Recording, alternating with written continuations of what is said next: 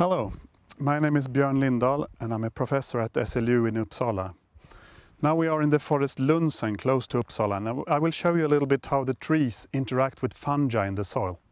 Come.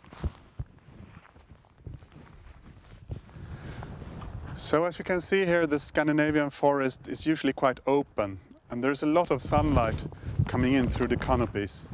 So there is usually enough of light for the uh, trees to carry out their photosynthesis up here in the crowns. The needles capture the sunlight and turn the light energy into sugars that are then transported down the trunk of the trees to the roots out in the soil.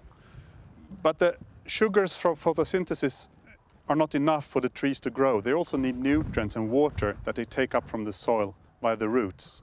And it's usually competition for nutrients between the trees that limits their growth. The more nutrients the tree can get, the more quickly can they grow big. So to take up nutrients from the soil, the trees associated with the small friends, fungi, that grow in the soil. And we will take a closer look on what this association looks like. If we try to lift the moss here a little bit, look, it's full of fungal mycelium here. All these yellow and white structures here are fungi that grow together with the roots. These fungi are called mycorrhizal fungi. This comes from Greek mykos, meaning fungi, and rhizon, meaning roots. Fungus root. The fungi live in tight symbiosis with the living trees. They get all the carbon they need in the form of sugars from the trees' photosynthesis. And in return, the fungi provide the trees with nutrients that they take up from the soil. The fine mycelium that grows out in the soil is really efficient in mobilizing nutrients from organic matter in the soil. Many of the fungi here produce powerful enzymes that can attack organic compounds in the soil.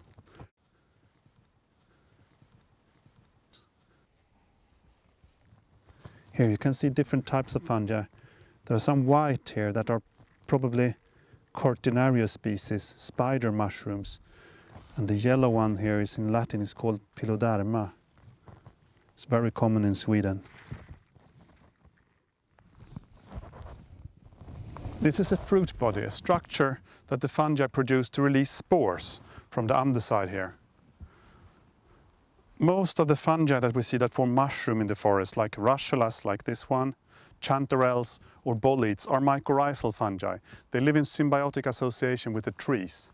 But the fruit bodies, they only make up a small proportion of the fungal biomass. Most of the fungus is in the form of the mycelium that's spread out through the soil.